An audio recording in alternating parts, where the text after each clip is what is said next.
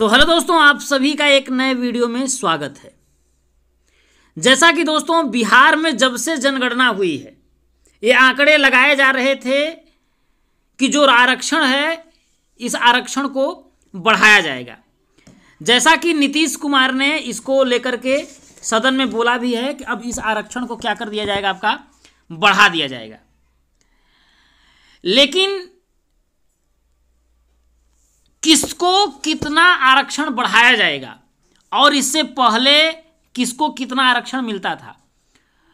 उसकी जो है बात आज की वीडियो में हम आप लोगों से करने वाले हैं। तो जैसा कि दोस्तों, अगर हम पहले की बात करें तो पहले जो आपका आरक्षण था, वो दोस्तों आप लोगों का पचास प्रतिशत था। इस पचास प्रतिशत में, इस पचास प्रतिशत में आपके पिछड़ी अनुसूचित जाति, अनुसूचित जनजाति थे, सब आते थे। और इसके बाद जो आपका था, प्लस में आपका ई एस का था।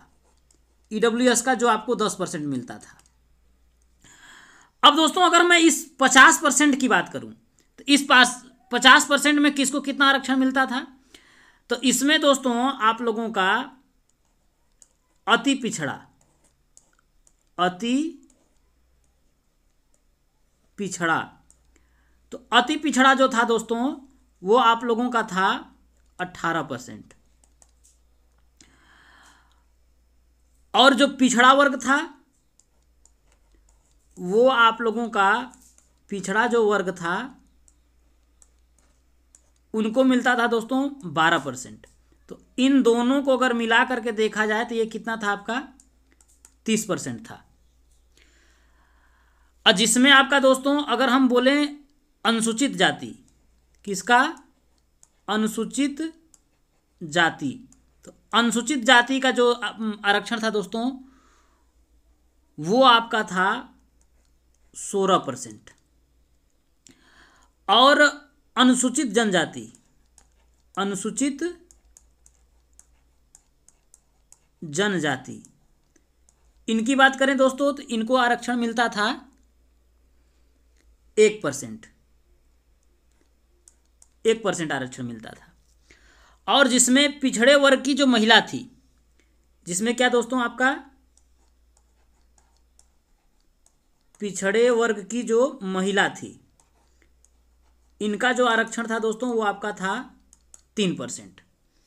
तो इस कुल मिलाकर के इस तरीके से दोस्तों आप लोगों के आरक्षण थे, जिसमें आपका अगर देखें तो देखिए अति पिछड़ा वर्ग और पिछड़ा वर्ग, इन दोनों को मिला दिया जाए। तो ये तीस परसेंट था। और अनुसूचित जाति का जो आपका था, ये सोलह परसेंट था। अनुसूचित ये जनजाति का अगर देखा है तो एक परसेंट था और पिछड़ा वर्ग की जो महिला था वो तीन परसेंट था।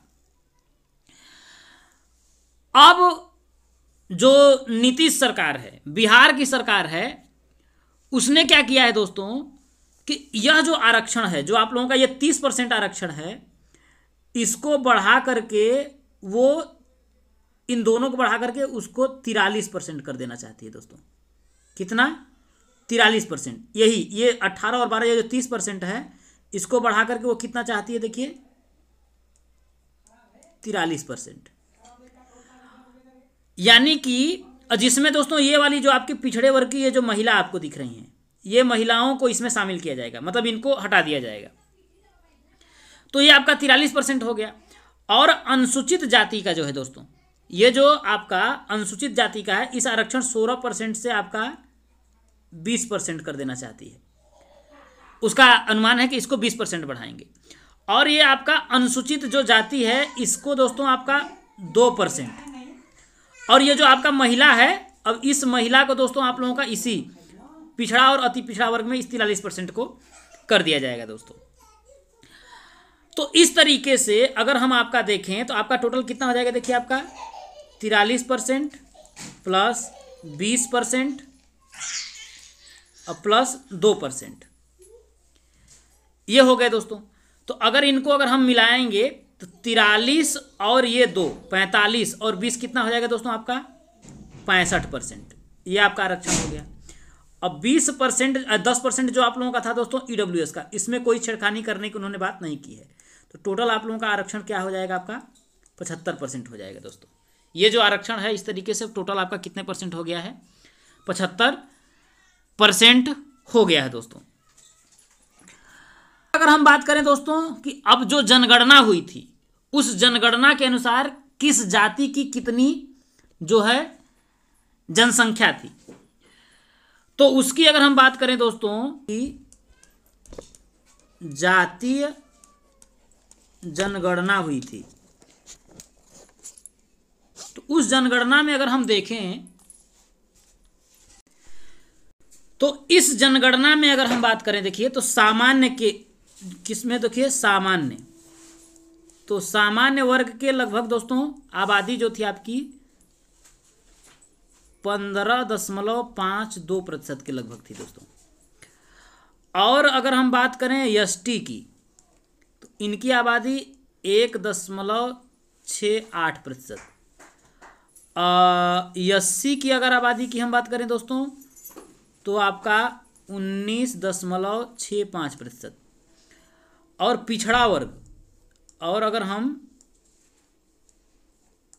पिछड़ा वर्ग की अगर बात करें तो इसकी आबादी दोस्तों सत्ताईस दशमलव एक दो प्रतिशत। और अति पिछड़ा वर्ग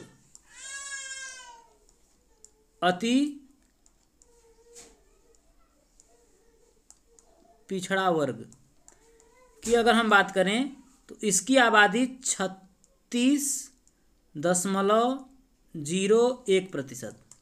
तो इन्हीं दोनों को अगर हम कंबाइन करें दोस्तों तो इनको मिला करके हो जाता है आपका लगभग तिरसठ प्रतिशत। तो ये कुल मिलाकर के आपका मोटी मोटा हिसाब है दोस्तों। तो इसी को लेकर के नीतीश सरकार ने आरक्षण में जो है बढ़ोतरी करने की मांग की है। तो अगर आप यहाँ पर देखेंगे तो एसटी की आबादी कितना है दोस्तों? एक दशमलव छः आठ है। तो इसी को दो परसेंट आरक्षण देने की बात कर रहे हैं एक से बढ़ा करके।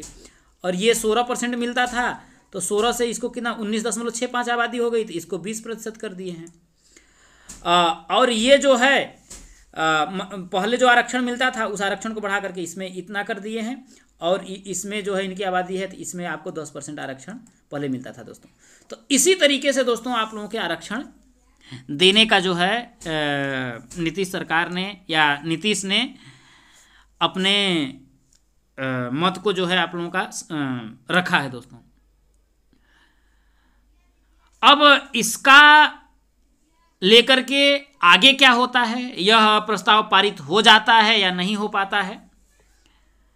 उसको अब आगे देखना होगा। आपकी क्या राय है? आप क्या सोचते हैं? कमेंट करके आप ज़रूर बताइएगा। जय हिंद।